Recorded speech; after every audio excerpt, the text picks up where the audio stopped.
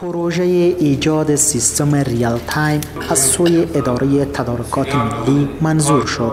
شهزاد گل آریوبی وزیر تکنولوژی و مخابرات می‌گوید که اداره تدارکات ملی پروژه ایجاد سیستم real time را منظور کرده است.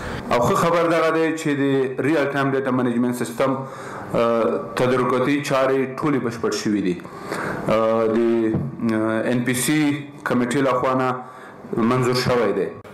به گفته وزیر مخابرات دولت از سال 1394 تا 1397 بیش از 13 میلیارد افغانی از درک مالیه 10 درصدی که بر کردیت کارت های مصرفی مشترکین شرکت های مخابراتی وضع شده است درآمد داشته است.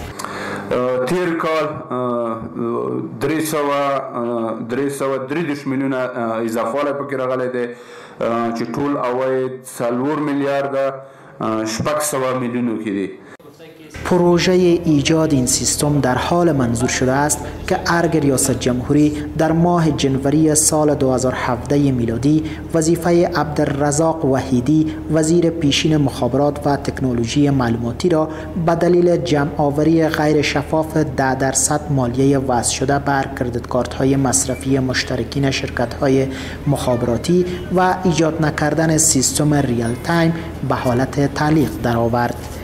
نادر شریفی روزنامه هشت صبح کابل.